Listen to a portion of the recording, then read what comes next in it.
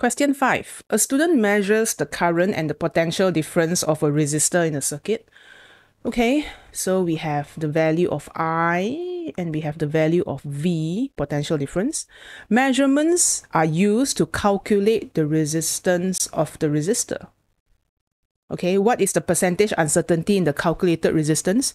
So hopefully people here, everyone knows that to find resistance, or you want to define resistance is the ratio of V over I, potential difference over current. So I don't really need to find what the value of R is because the question is asking me for percentage uncertainty. Okay, so what I'm looking for when it comes to percentage uncertainty is del R over R. So then I look at this equation, right? And I ask myself, well, if I want to find the uncertainty of R, I will take the uncertainty, the percentage uncertainty of potential difference plus the percentage uncertainty of current. It's a bit like, why do you have an uncertainty for resistance? Well, it was because when I measure potential difference, I have a certain percentage uncertainty. And then when I measure the current, I have a certain percentage uncertainty. And I use both values to calculate resistance. That's why when you want to find the percentage uncertainty, you have to add them up, always add. Okay.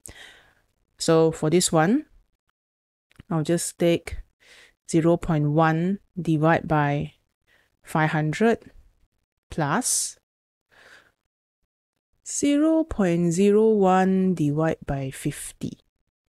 Okay, these are really good measurements because they are digital measurements. And uh, if I press my calculator, this one I will get 4 times 10 to the power of negative 4. But all the answers are in percentage, so you should multiply by 100%.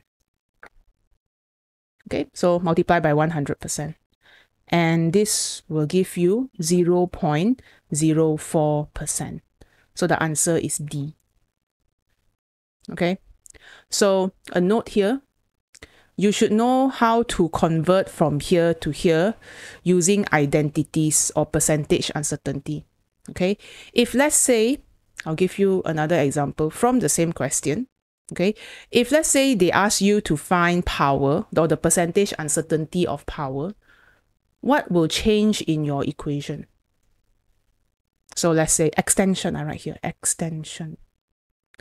What is the percentage uncertainty of power dissipated?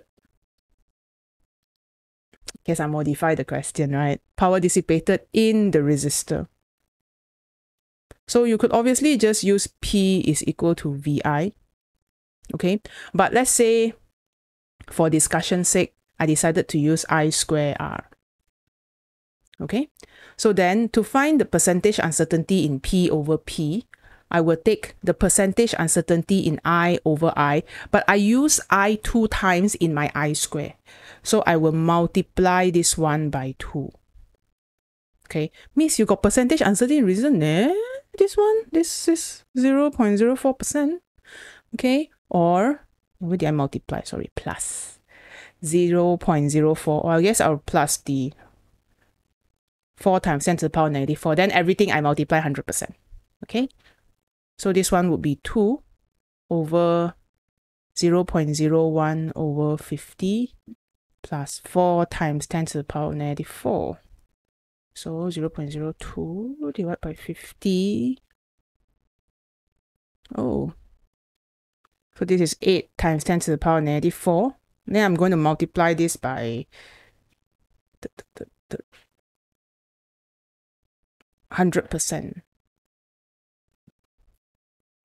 So this will be 0.08%. Okay, so let's say I measure current and then I take R. You may be thinking of using other equation, which is possible as well. Just let me double check my calculation a bit. 0 0.02 divided by 50 plus 4 times 10. Okay, so you get 0.08%.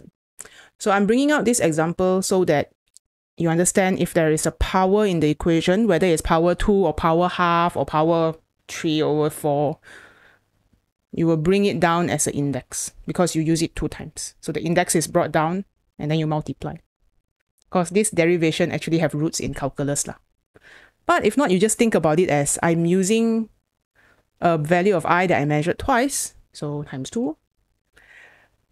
Okay, so that's it for this question about percentage uncertainty and identities.